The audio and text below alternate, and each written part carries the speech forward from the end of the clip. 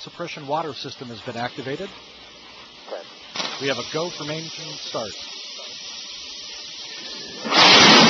Three engines up and ready. Three, two, one, zero. Booster ignition and liftoff of Discovery, blazing a trail to scientific discoveries aboard space station. Houston Discovery roll program. Five to roll, Discovery. Mission Control Houston. Space Shuttle Discovery is rolling into a heads down position, putting it on course for 51.6 degree, 136 by 36 statute line orbit, and eventually the International Space Station.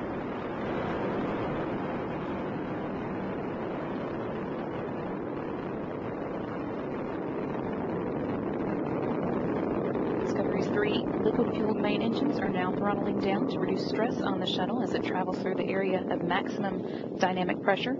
Discovery is already at an altitude of 4.7 miles or 26,500 feet, and traveling Discovery, go at throttle up. Roger, go at throttle up. Traveling 1,000 miles per hour. Discovery's engines are now throttled back up and performing at full capability.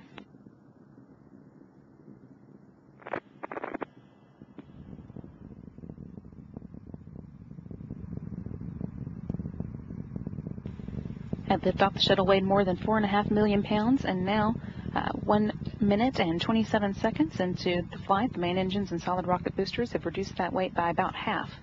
Solid rocket, bo- rocket boosters alone are burning, burning 11,000 pounds of propellant per second, and the external tank is now 3,000 pounds lighter than when it began.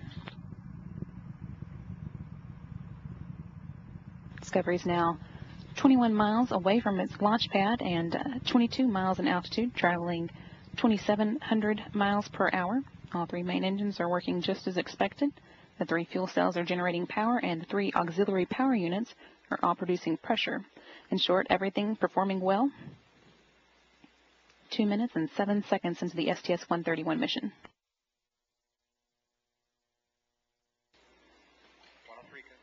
The booster officer in the Mission Control Center has confirmed solid rocket booster separation. All systems continuing to, continuing to function well.